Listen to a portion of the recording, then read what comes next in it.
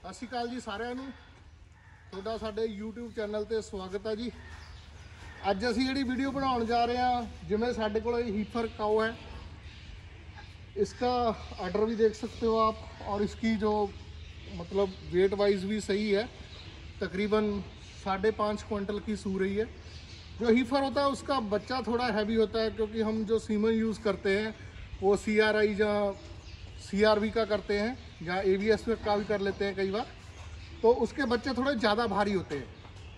और आपको हम दिखाएँगे, ये एक जर्मनी का है, मेड इन जर्मनी है। इससे हम इसको गाय को सुवाएँगे आपको दिखाते हैं। पहले आपने जो प्रकोशन करनी है, आप किसी भाई ने ये गाय को सुवाना है तो पहले इसको अच्छे से सफ़ाई कर लेना है। क्योंकि इसको कम से कम डेढ़ दो घंटा हो गया, बच्चा बाहर नहीं आ रहा। क्योंकि काफ़ी हैवी बच्चा है। अभी दिखाएँगे, वो पानी की बाल्टी लो।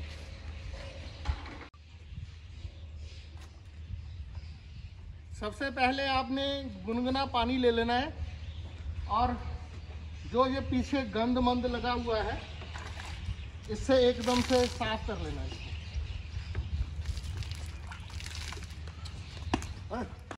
इसको निकाल देना है, क्योंकि कोई गंदगी अंदर मत ना जाए। पूरे से साफ़ कर लेना है।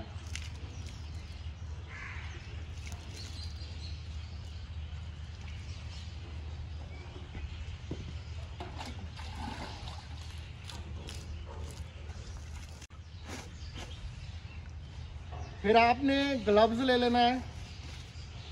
ग्लव्स सैनिटाइज हो, क्योंकि किसी भी तरह की गंदगी कोई अंदर में मत जाए।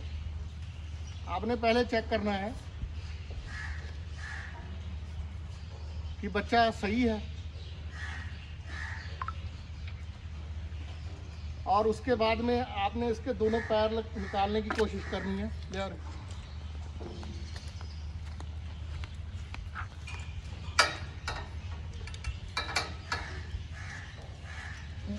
बाहर आ चुके हैं।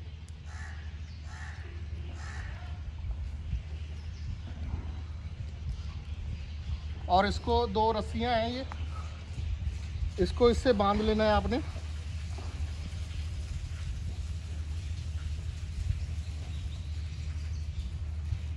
संजय आओ। आपने देख ही लिया बाँध लिया इनसे। ये भी पूरे सैनिटाइज की हुई रस्सियाँ हैं। इसको देखो। ऐसे इसके पीछे लग जाना इसमें। और ये जो जर्मनी का है,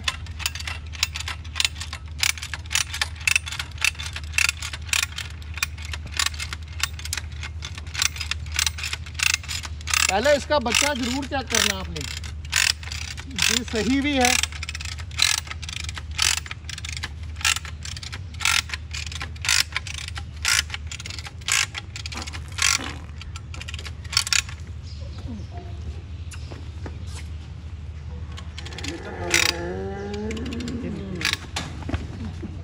पल्ली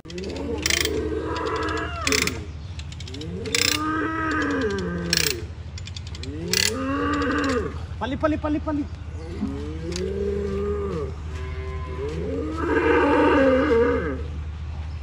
आप देख पा रहे पहले इसका कान, नाक, आपने अच्छे से साफ़ करना है। और चलाओ इसको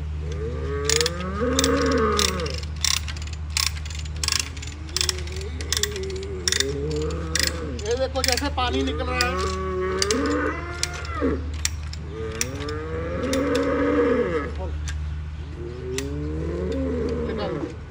इसके नीचे, ये बचा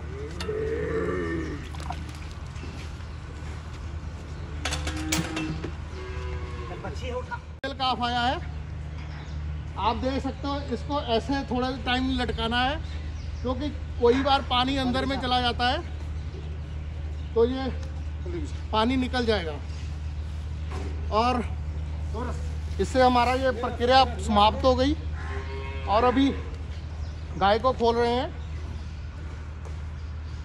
जो आपने जब गाय को सुवाना है ना तो इसका साफ़ सफ़ाई का पूरा ध्यान रखना है।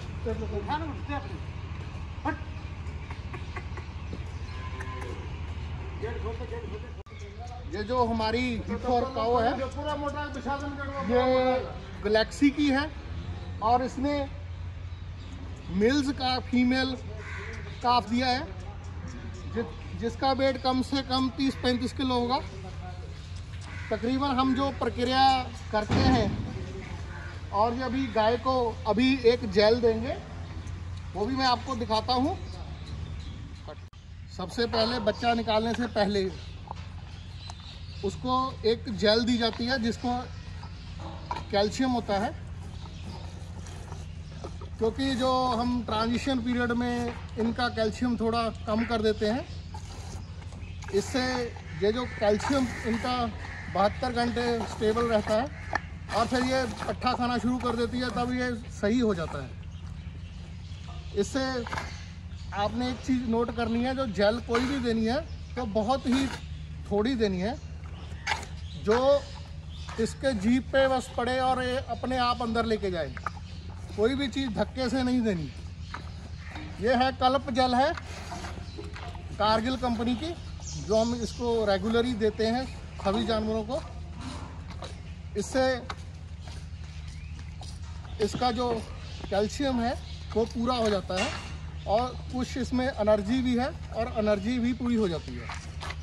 और इसको अभी गुनगुना पानी देंगे और उसके बाद में इसका दूध निकालेंगे क्योंकि हिफर को चलना चलो आधे घंटे के बीच बीच में दूध पिलाना होता है।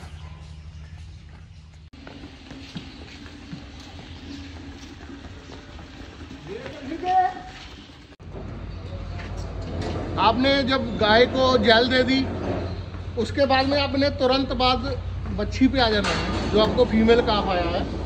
इसको ऐसे लिटा लेना है। जो इसका हम नाड़वा बोलते हैं, ये चीज़, जिससे इसको फूट जाता है। इसको पहले बीटाडीन से धो लेना है।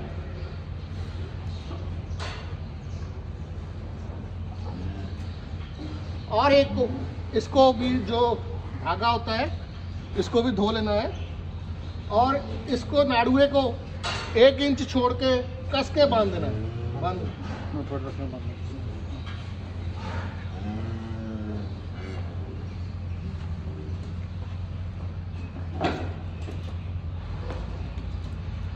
इससे कोई भी मतलब इसमें एंटर नहीं होगा कीटाणु वगैरह। और जो धागा और थोड़ा नाड़ुआ काट देना है।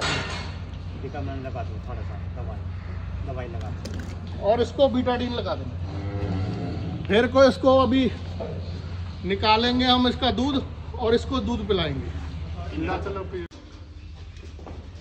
जब इसका नाड़ुए की प्रक्रिया पूरी हो गई, तब ऐसे हमारे पिंजरे बनाए हुए हैं, क्योंकि इनको कोई कौआ वगैरह इसके पैरों में चूच ना मारे, या उसकी आँख में ना मारे, क्योंकि छोटा बच्चा है और इसमें देखो हमने तूड़ी का जो तूड़ी होता है कनक का घूसा होता है उसको हमने डाल के नीचे तो इसमें ये बच्चा डाल देंगे। और यहाँ पर ही इसको इसकी माँ का कोलेस्ट्रॉल होता है जो वो तीन दिन तक ये पिलाएँगे और उसके बाद में मिल्क रिप्लेसर शुरू करेंगे इसका। अभी नेक्स्ट वीडियो हम मिल्क रिप्लेसर पर ही बनाएँगे। और ये जो दूध होता है बॉली बोलते हैं हम इसको। ये हम तीन दिन तक इसको पिलाते हैं मतलब छः टाइम। और उसके बाद में जो रिप्लेसर से मिक्स कर करके इसको छोड़ के सीधा मिल्क रिप्लेसर पर चले जाते हैं। और उससे बड़ी अच्छी ग्रोथ आती है इन जानवरों की। और अभी जो थोड़ा ठंडी पड़ने लग गया है तो थोड़ा इसको बंद करना पड़ेगा, क्योंकि जो बच्चे की ग्रोथ है, वो ठंडी की वजह से थोड़ा कम जाता है। और जो आपको हमारी ये वीडियो अच्छी लगी तो शेयर करिए और हमारे चैनल को ज़्यादा से ज़्यादा सब्सक्राइब करें। धन्यवाद।